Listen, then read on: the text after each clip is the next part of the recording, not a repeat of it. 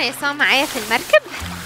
أنا مطمنة لأني في إيد أمينة وفي إيد أب حنين وفي إيد أكتر حد بيحبني وبيخاف عليا. أشجعكم تيجي تقعدوا معانا في المركب اللي هنحكي ونتكلم ونفضفض ونستمتع بيسوع ونعرف عنه أكتر. مش بس هنسمع عنه لكن هنقضي وقت معاه ونتكلم معاه ونعرف أكتر عنه عن جماله وعن شخصيته ونعرف قد إيه يا بختنا بيه. مستنيينكم تشاركونا في برنامج يسوعي